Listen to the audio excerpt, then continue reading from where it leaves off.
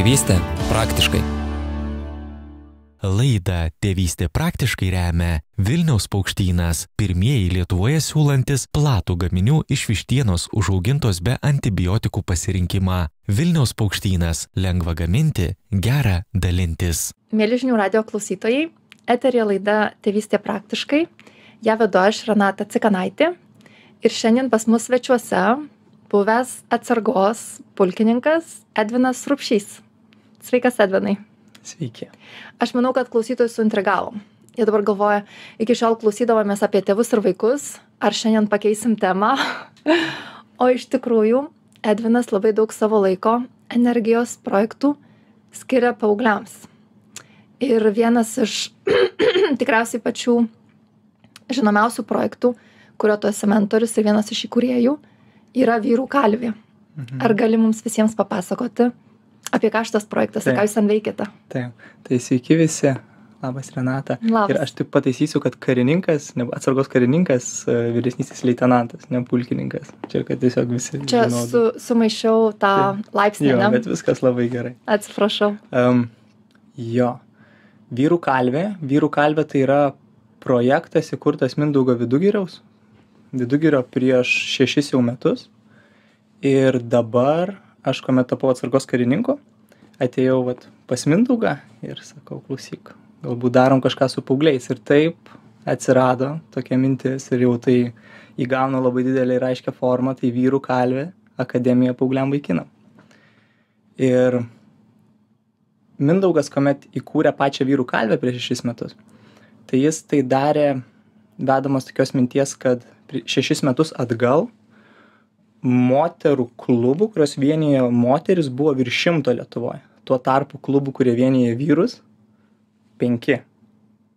Atmetusius medžiotojų burelius ir panašiai ten, kur vat, vyrai eina į bendrumą, kalbasi mhm. apie dalykus. Ir Mindaugas suprato, nu, kad kažką reikia su to daryti. Nu, reikia vieni taip pat vyrus, kad vyrai taip pat kalbėtųsi, nes jie tokie užsidarę labai savy ir, ir, ir panašiai. Na ir taip atsirado vyrų kalvė, atsirado stovyklos, kuriuose stiprinamas tėčių ir sunaus ryšys. Čia vat, yra pagrindas, ką veikia vyrų kalvė iki šiol. Ir dabar, kuomet atėjau aš, mes pradedam dirbti kartu ir su paaugliais vaikinais. Su paaugliais jau vyrų kalvė dirbdavau ir prieš tai, bet tai tėčių ir sunaus kontekste. Um, o dabar grinai, grinai projektas Akademija tik tais paaugliam. O kodėl tai atsirado, kodėl va tokia mintis, tai kai aš baigiau karo akademiją, nuėjau tarnauti į kariuomenę ir pas mane atėjo šauktiniai 18 metų jaunuoliai, kurie, nu, yra dar paaugliai, realiai paaugliai. Ir 70 procentų jų, didelė jų dauguma, buvo be konkurencijos jausmo savo viduj. Turi sakydamas konkurencijos, tai nebūtinai prieš kažką kitą, konkurencijos tiesiog su savim, tokia didžiulė apatija, nenoras nieko daryti, tiesiog sėdėt, būt, vat ir viskas. Ir aš galvoju, kas vyksta, kaip aš galiu tuomet ruošti šituos vyrus Lietuvos gynybai, kai jie pirmiausia yra visiškai save ir nu, nesupranta, kas patys yra ir, ir jie savim nepasitik, yra uždari, bijo konkuruoti ir bijo konkuruoti dėl to, kad jie daugumą jų nematė tėčio, kaip jis pralaimi, kaip nematė vyro pavyzdžio, kaip pralaimėti, kaip vyras turėtų elgtis e, laimėjęs ir panašiai. Ir aš tada supratau, kad, oho, tai aš dabar turiu daugiau laiko skirti tokiai jų mentorystiai, parodym jų stiprybių atskleidime, jų stiprybių atradime, kad jie pradėtų pasitikėti savim, pajustų tą savo galę, kad jie gali, nu, ta prasme, kažką kurti. Ir taip, būdamas karininkas, aš didelę laiko dalį, vad būtent tai ir dariau. Su jais kalbėjausi individualiuose pokalbiuose, tokiuose coachingo sesijose, nes taip pat aš esu coachingo specialistas. Ir darėm įvairias užduotis, kurie leistų nupajust būtent tą savo tokį pasitikėjimą savim.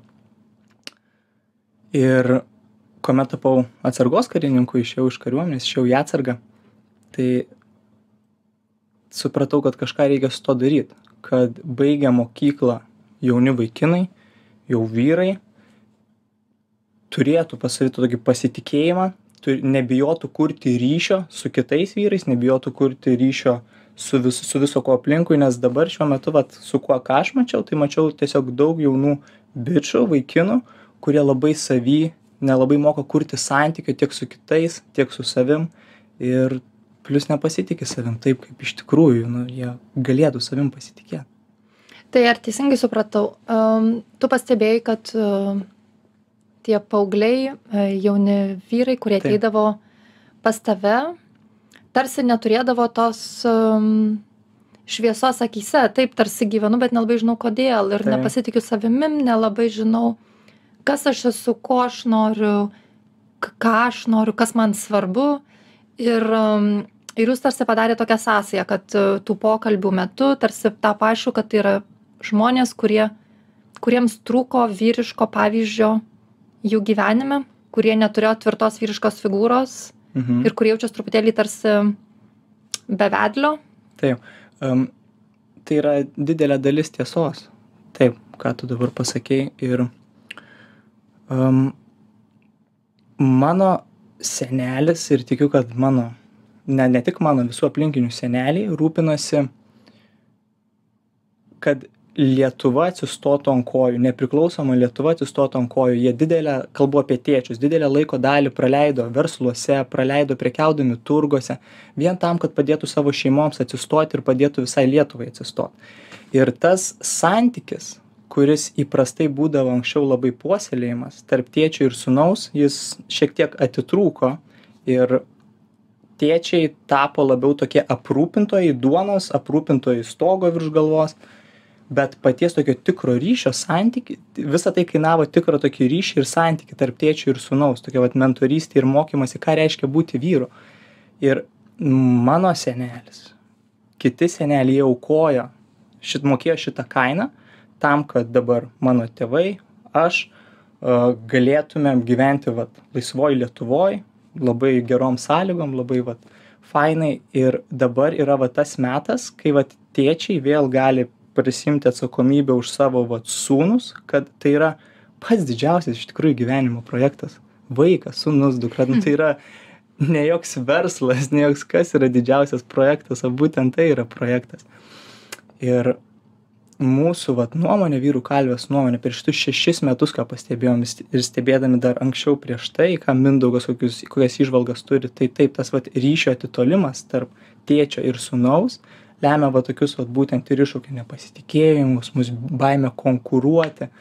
Vėlgi, nes nu, tiesiog labai sunku yra mokėti visus tos dalykus daryti, kai vaikas nematė to tikro pavyzdžio, kaip vyras tai daro. Ir jo, ir vyrų kalvės akademija yra apie tai, yra, nu, iš tiesų apie kelis dalykus. Tai yra, pirmiausia, tai apie paauglių bendruomenę vieną, vieną tokį junginį, nes paauglių akademijoje paaugliai veikia po 20 žmonių grupiai. Um, žinai, ką reiškia lietuviškas gražus žodis bičiulis? Mhm. Kai vieno ūkininko bitės pasirinkdavo ir nuskrisdavo pas kitą ūkininką, jie pasirašydavo tarsi tokią neformalią sutartį, kad nepaisant to, koks santykis juos siejo prieš tai, galėjo būti didžiausi priešai, galbūt nesutardavo, tačiau nuo tos akimirkos, kai vieno bitės pasirinko kito kiemą, jie perkopia draugystės ribas ir jie tampa bičiuliais, nes juos susijo kai kas daugiau negu draugystė, galbūt yes. nebuvo priešai. Ir akademijoje toks ryšys yra kuriamas tarptų 20 paauglių. Ryšys, kuris perkopia draugystės ribas ir tu įsivaizduoki, kokia yra savivertė, koks yra pasitikėjimas paauglio, vėliau suaugusio vyro, kai jis žino, kad ir ką darytų gyvenime, kad ir kaip jam nesisektų, kad ir kaip klystų, kaip susimautų, jis visada turės 19 kitų bendramžių vyrų užnugarį. Ir tai suteikia labai didelę tvirtybę ir žinojimą ir drąsą klysti, o klaidos nu, yra pagrindas dėl to, dėl ko mes pasiekėm savo svajonės. Ir tas palaikymas yra neįtikėtinai svarbus, tai čia yra vienas dalykas, apie ką yra akademija. Kitas yra apie jau suaugusius vyrus, kurie mentoriauja ir yra praėję pro tam tikrus procesus, kad jie galėtų kaip vyresnysis brolis patarti ir palydėti tą paauglį, kad va, žiūrėk, viskas su to yra gerai, tavo stiprybės yra čia, čia, čia. Um, ką tu manai apie tai ir tai, kuris tiesiog lydi tame, toks palydėtojas. Ir trečias dalykas, tai būtent individualių savybių atskleidimas vaikų, stiprybių, mokėjimo mm. Peržengti savo ribas, kai mes susidurėm su riba, mokėjimo kurti ryšį tiek su savim, tiek su kitu, mokėjimo užduoti klausimus, mokymosi pasitikėti, atjaust, empatijos, emocinį intelektą, nu, tiesiog labai tokie tarp žmogiški dalykai, tie, kurie tokie tikri, tikri dalykai, va čia viduje. Tai išgirdau, kad labai svarbi yra bendrystė. Taip.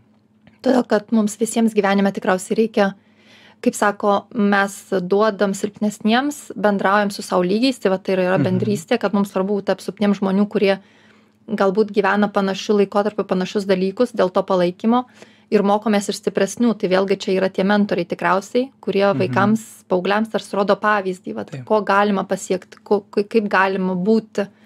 Um, koks tavo, primenu mūsų visiems klausytams, kad kalbame su Edvinu Rupšiu, atsargos karininku, vis dar ne pulkininku. um, koks tavo paties kelias buvo iki to? Ar tu, pavyzdžiui, pats turėjai tvirtą vyrišką pavyzdį tavo aplinkoje? Čia yra, kodėl aš tai darau. Mm. Iš to kyla, kodėl aš tai darau. Um, hm. Kai man buvo šeši metai, mano tėtis pradėjo labai intensyviai važinėtis į misijas, nes mano tėtis karininkas. Ir iki kol man sukako 18 metų, nu, mano tėtis daugybę kartų išvažiavo vis į misijas ir aš savo didelę paauglystės dalį praleidau augdamas su mama. Paauglystės, vaikystės. Mm.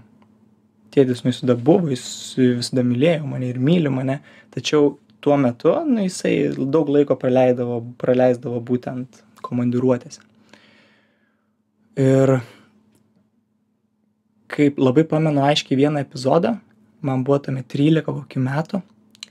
Ir tėtis grįžo iš vienos iš misijų, aš tuo metu tiesiog mano visas pabėgimas būdavo kompiuterį. Aš būdavau toks apatiškas paauglys, kuris tiesiog nueina į mokyklą ir mokykloje galvoja apie tai, kad nori tiesiog grįžti greičiau namo, atsisėsti prie kompo ir ramiai savo kurti savo charakterį ten virtualioje erdvėje. tai tėtis visuomet, kai grįždavo, tai man ribodavo laiko prie kompiuterio, nu, jis nes norėdavo, kad aš išeičiau iš to, vat, peržengčiau per save. Ir man tai labai nepatikdavo. Ir... O ką aš kompiuterį rasdavau tuo metu, tai aš kaip vaikas nemokėjau pasakyti, kokie yra mano poreikiai, ko aš noriu. Dabar aš suprantu, kad aš nerealiai norėdavau ryšio.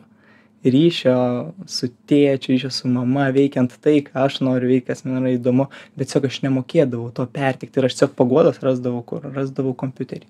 Ir labai pamenu vieną aiškiai epizodą, kai man buvo 13 metų, tėtis grįžo iš vienos iš komandiruočio ir jis sako, varom pabėgioti.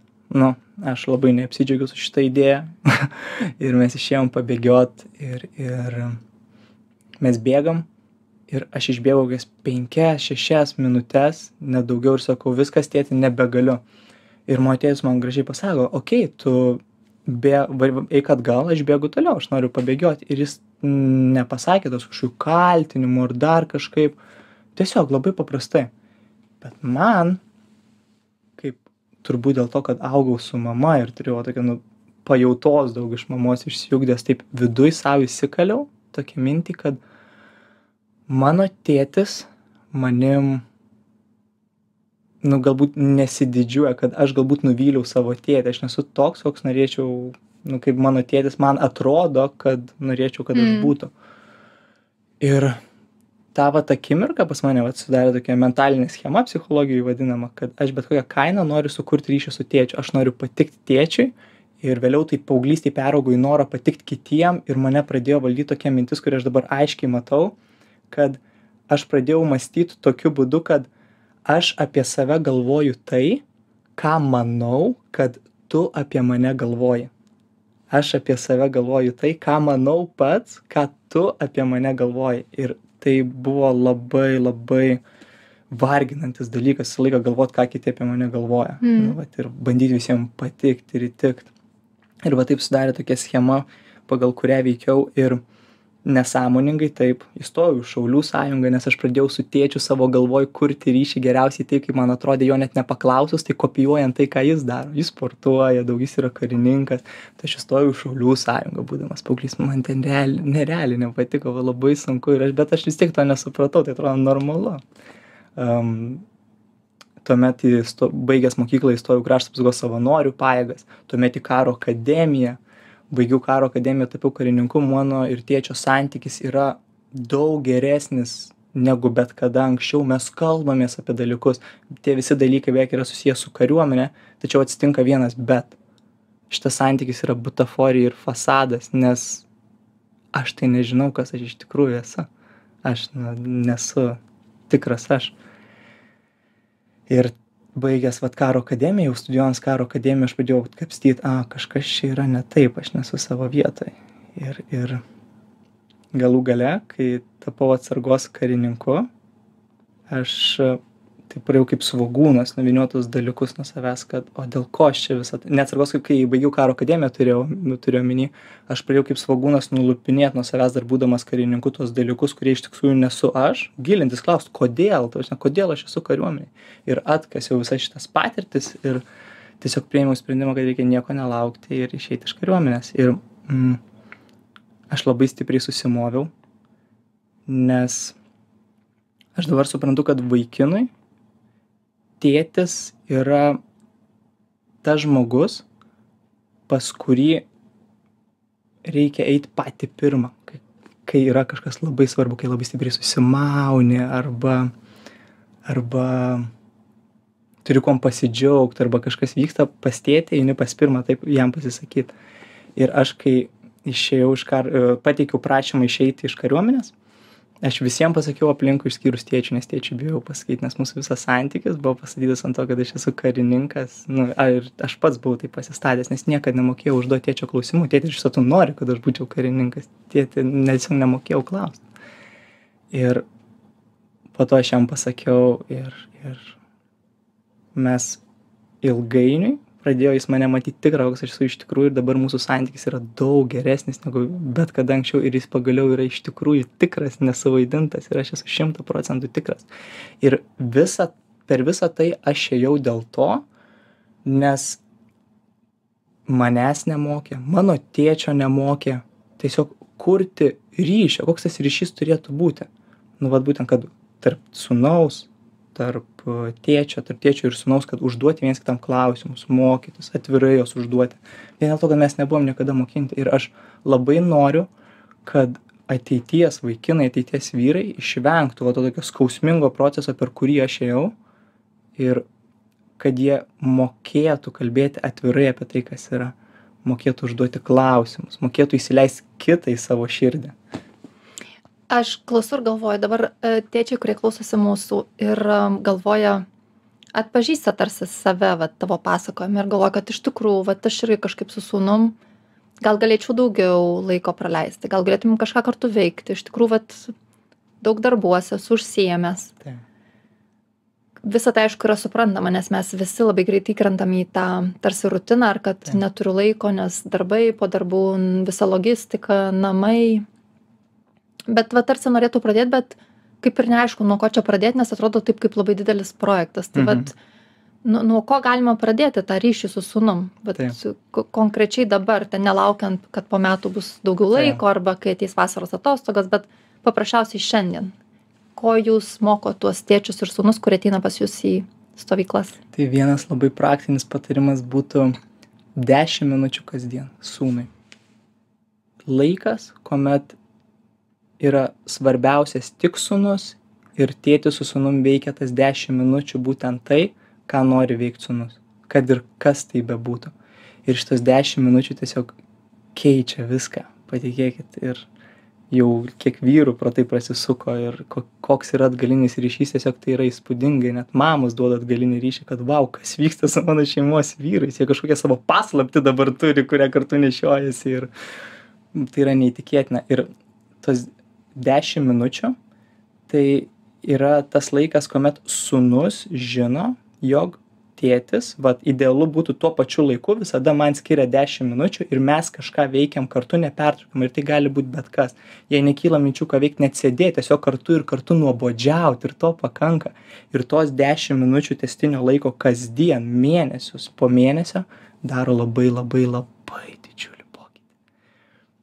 Jo tai čia būtų toks numeris vienas patarimas. Ir labai aš su aš suprantu kad daug tėčių dirba darbą kai keliauja kai galbūt negali būt namie išvažiuoja į komandiruotes ir panašiai. Tai tas laikas gali būt ir internetinis pokalbis.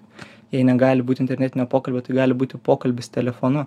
Tačiau tai sūnui suteikia nu tą tokį žinojimą kad aš esu svarbus savo tėčiui. Aš esu svarbus. Ir aš visada turėsiu pas ką ateit jeigu kažkas atsitiks. Ir man atrodo tėvam nėra geresnio žinojimo kai paauglys ar vaikas ateina pas jį prisi net labiausiai prisidirbęs kad ir ką būtų padaręs kad ir pats koks bū įvyktų pats baisiausias dalykas pirmas žmogus pas ką ateina tai yra pas jį. Ir įsivaizduokit ko kokia yra ramybė kai tu žinai kad kad ir kas atsitiktų sūnus nebandys nueiti išsipasakoti ir ieškot palaikymo kažkur kitur o ateis būtent pas tėtį. Nes kas yra paauglystėj? Paauglystės laikotarpiu į nusikalstamą liūną būtent paauglystėje vaikinai dažniausiai yra pri pričiumpami dėl to kad jie turi atsiranda kažkoksai žmogus kuris palaiko paguodžia ir tuomet taip yra vaikinai priimami tai vat įsivaizduokit kai vat vaikinas kuris kad ir ką padarytų neateitų pas kažkokius netikrus draugus ar kažką kito ateitų būtent pas jus. Ir tai yra sukuriama būtent per tą tokį ilgalaikį bendravimą ir vaiko priėmimą nepaisant ko. Nepaisant to kaip jis susimovė. Nu ta prasme visiškai. Okei tiesiog va atviru širdim užtrauktukas širdis gerai. Mes visi dažniausiai ieškome tokių kaip stebuklingų atsakymų ir tikimės kažkokio tokio grandioziško. Taip galvoju nu vat jau išgirsiu tą vieną patarimą susiimsim ir darysim. Ir išgirsti tokį pasakymą kaip reguliariai dešim minučių kasdien. Ir tu galvoji nu ne nu neveiks. Nu jeigu ne per paprasta negali veikt ką ten tos dešim minučių? Bet čia tikriausiai paradoksas kad mes daug ką tarsi neįvertinam reguliarumo prasmės mūsų gyvenime kad e, dešim minučių reguliariai kiekvieną dieną gali nuversti kalnus ir tais mažais žingsniukais mes galim eit toli toli negu vienąkart per metus žengsdami kad ir labai labai didelį žingsnį bet vieną kartą metuose nes vieną kartą metuose tai yra tik vieną kartą metuose. O tas reguliarumas ir pastovumas kad mes kiekvieną galiausiai žinojimas kad kad ir kas beatsitiktų aišku gyvenime yra išimčių ir jų bus bet iš esmės kad ir kas beatsitiktų aš turiu tą erdvę turiu tą vietą ir jinai rezervuota ir jinai manęs laukia. Ir ten būsiu aš su tėčiu ir tai yra mūsų ir kaip jūs sakot visai nesvarbu dar ką ir veiksim. Ne ne ne veikloj esmė galim išvis nieko neveikt arba kartu nuobodžiauti arba kartu išsikalbėt arba pykti saugiai šalia tėčio aš irgi galiu nes tėtis gali tai atlaikyti tėtis turi stiprybės ir mano pyktis gali pasirodyti man nereikia kažkur užslėpti nes tėčiui bus per baisu ir jis nežinos ką su tuo daryti tai tai tikiu yra labai išlaisvinanti ir tokia labai turtinga patirtis. Um, dabar padarysime tiktai trumpą pertraukėlę ir netrukus grįšime į eterį pratęsti šios diskusijos.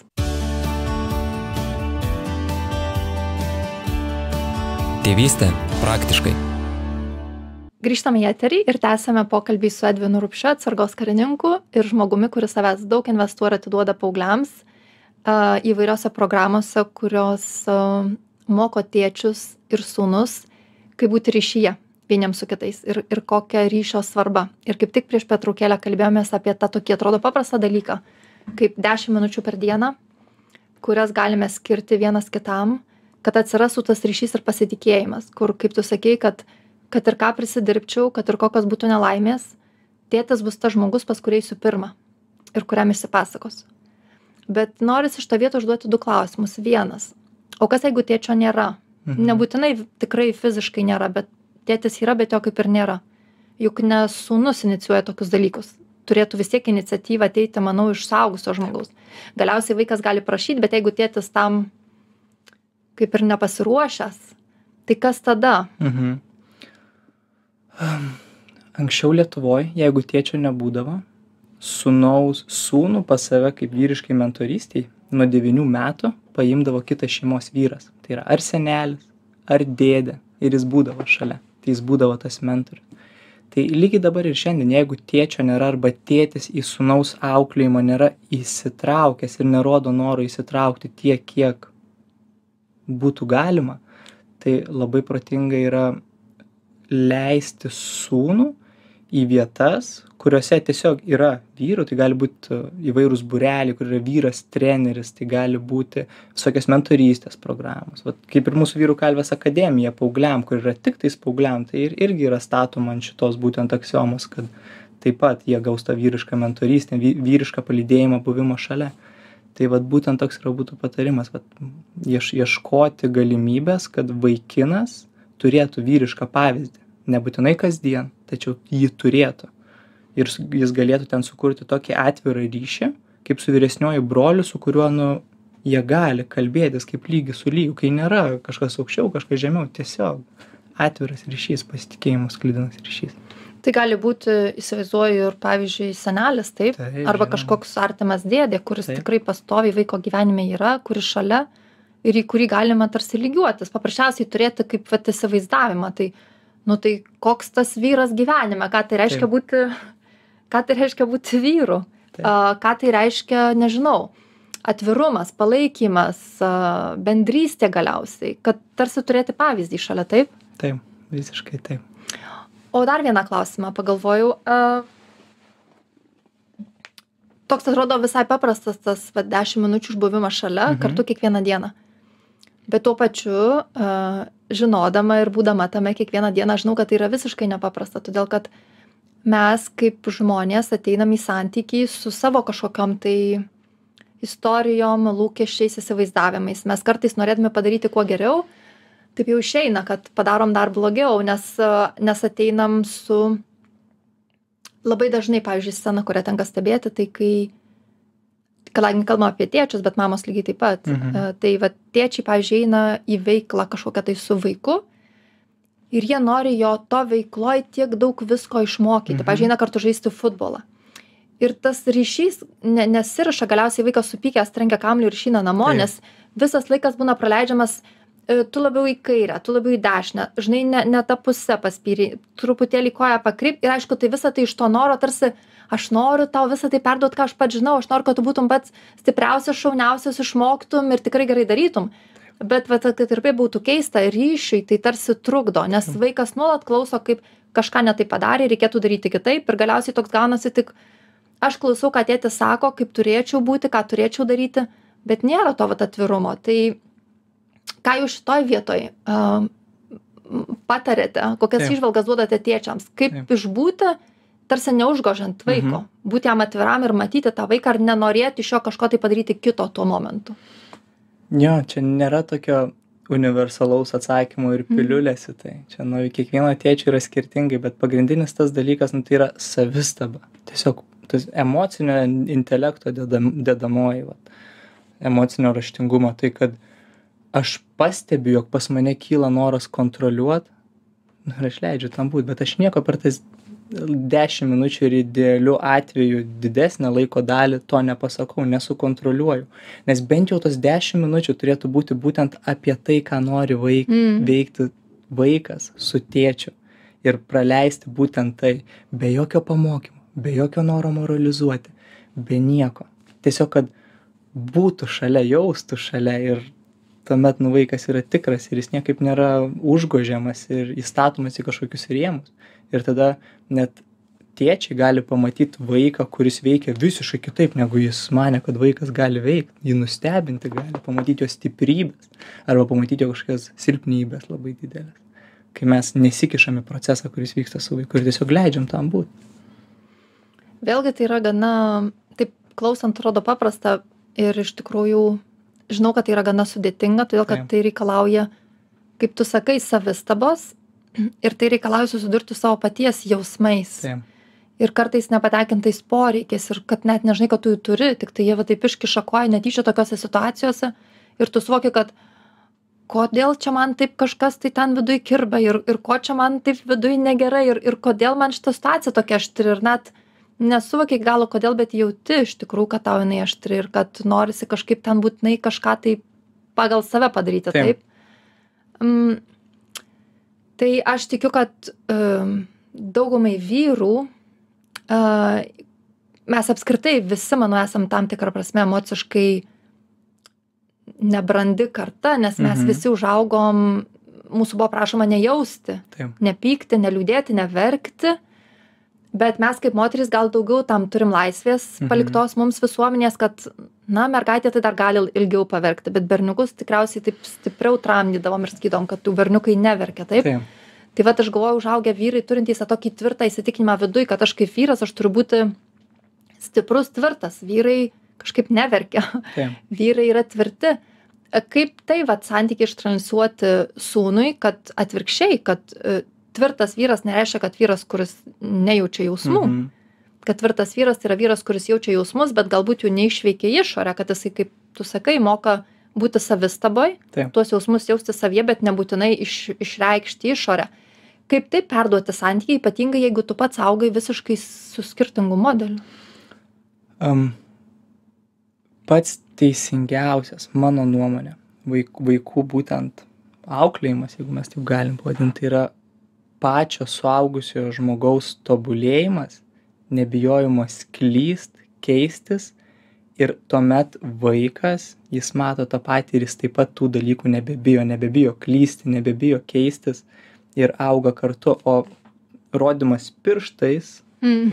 ką kaip va turėtų būti ir ką o pačiam elgtis lygiai taip pat tai yra ne kas kita kaip savanaudiškumas ir ir savo paties trūkumų nematyti savo vaike ir tai yra tiktais vat tai tai Ir galiausiai Nu, tai neveikia taip, kai taip, mes ir- vaikams taip sakom tai neveikia kaip vienaip, o taip. gyvenam kitų pavyzdžių, tai neprigyja. taip mamontovas kaip sako nori keist pasaulį keisk pirmiau save savo dainoj tai taip ir yra lygiai taip pat ir su vaikais nes norim nenorim jie kopijuoja mus mes aš labai tikiu kad galų gale kad ir kaip mes paauglystėj arba ankstyvoj suaugystėj manom kad mes nebūsim tokie kaip mūsų tėvai. Niekada mes galų gale atsiduriam ir pamatom kad a o o o o.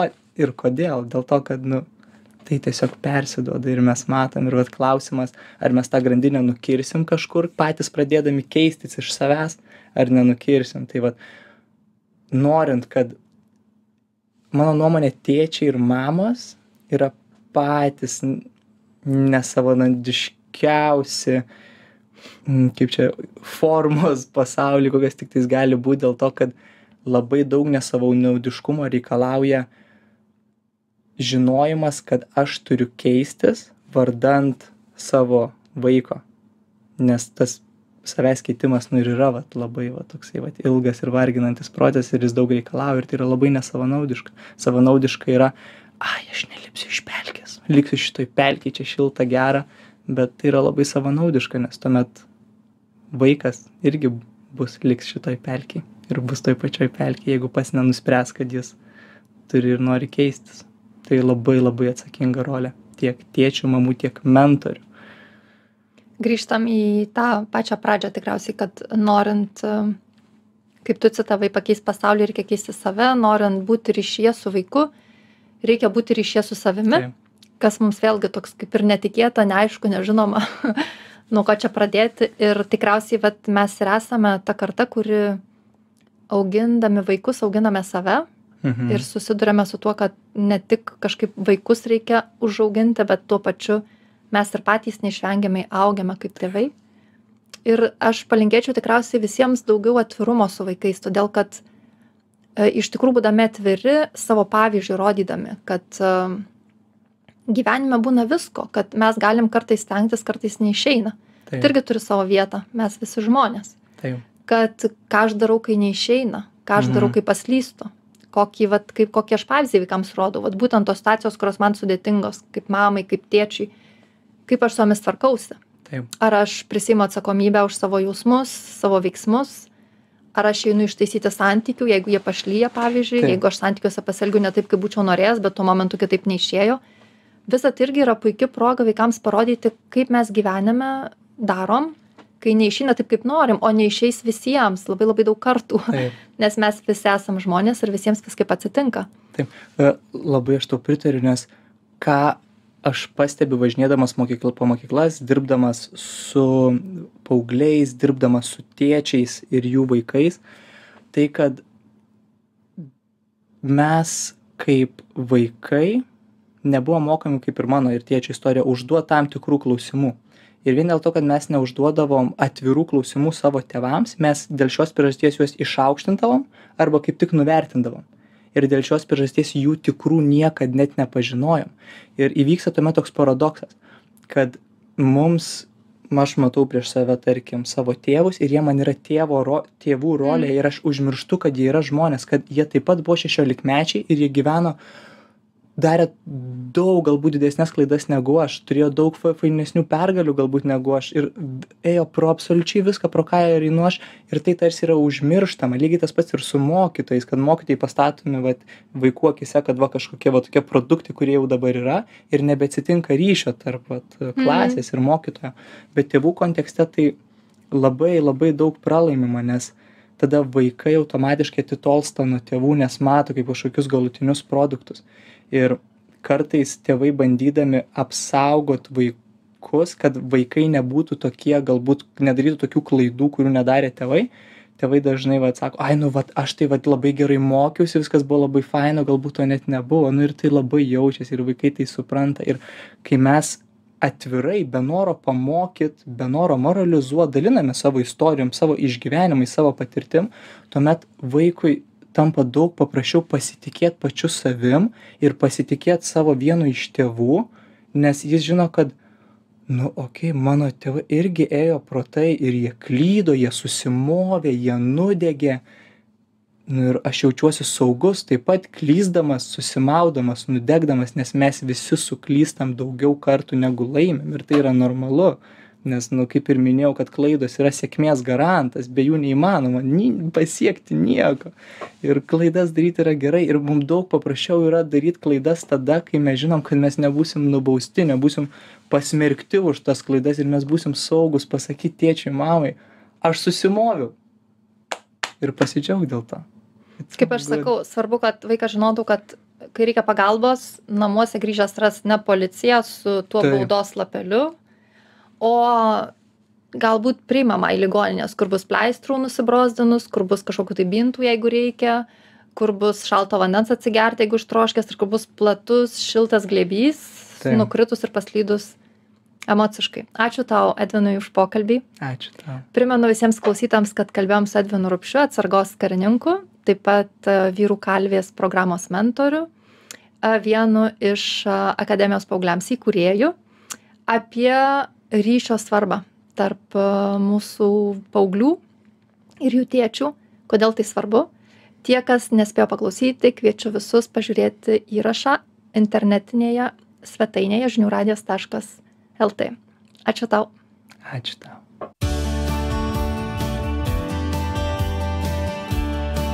Tėvystė praktiškai.